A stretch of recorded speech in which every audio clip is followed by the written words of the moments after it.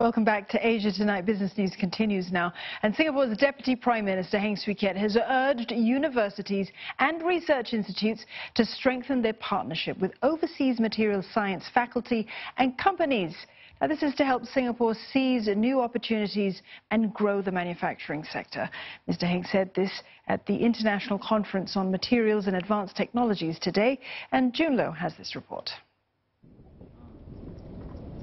From panels that can harness solar energy to 3D printed bathrooms that are faster and quicker to manufacture.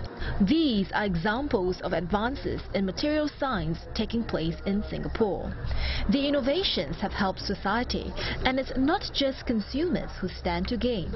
These are innovations uh, that will change uh, the future of manufacturing in a very significant way, which will also have a significant impact on uh, how uh, uh, material science itself will transform.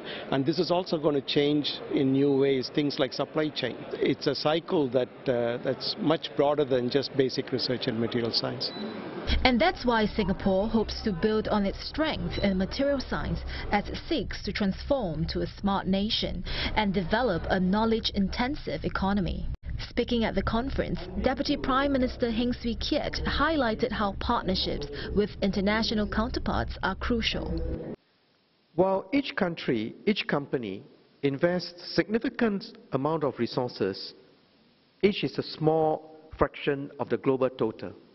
Science and technology is very much an international endeavor, and hence international partnership is critical if we are to make an impact. Mr. Heng said doing so can ensure Singapore maintains a strong talent pool of researchers and a pipeline of new materials that can be applied for products. This way, the country's manufacturing sector will also stay competitive. Manufacturing is Singapore's largest export sector, contributing around 20% of gross domestic product today. More than 3,000 delegates from around the world are taking part in the five-day conference.